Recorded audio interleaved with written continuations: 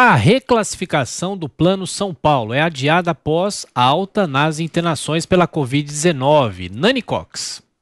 Após admitir um aumento de 18% na média diária de internações por causa da Covid na última semana, a gestão João Dória adiou para o dia 30 de novembro a reclassificação do Plano São Paulo de saída da quarentena. Atualmente, estão nessa etapa a Grande São Paulo, a Baixada Santista e as regiões de Campinas, Sorocaba, Piracicaba e Taubaté. Considerando apenas os dados de ontem, a maior parte dos municípios poderia avançar para a fase verde quando são permitidos eventos, convenções e atividades culturais com ocupação de 60% da capacidade máxima.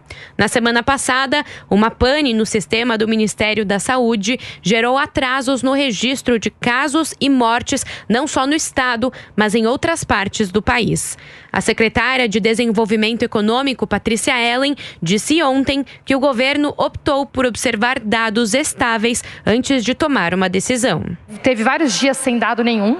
E aí teve dias que vieram todos os dados de uma vez. A gente vê aqueles picos ali na quantidade de casos e óbitos. Isso é o que nós recebemos do governo federal.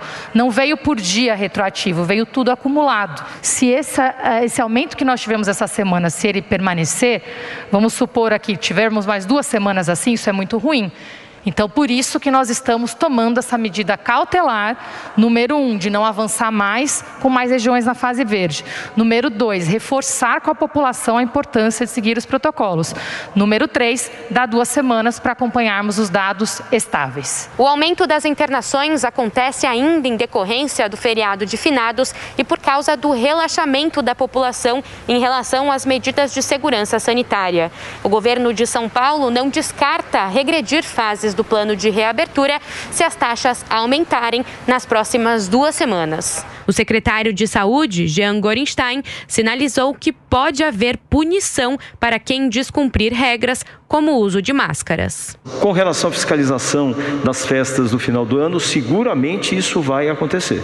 Isso é uma medida de exigência do governador João Dória, que nós precisamos estar mais vigilantes. E não só ser mais, estar mais presentes e multar levar a penalização. Se nós estamos falando que máscara é lei e lei tem custo, então as pessoas vão ser multadas. Nesta segunda-feira, o estado chegou a 40.576 óbitos e 1.169.377 casos confirmados da Covid-19.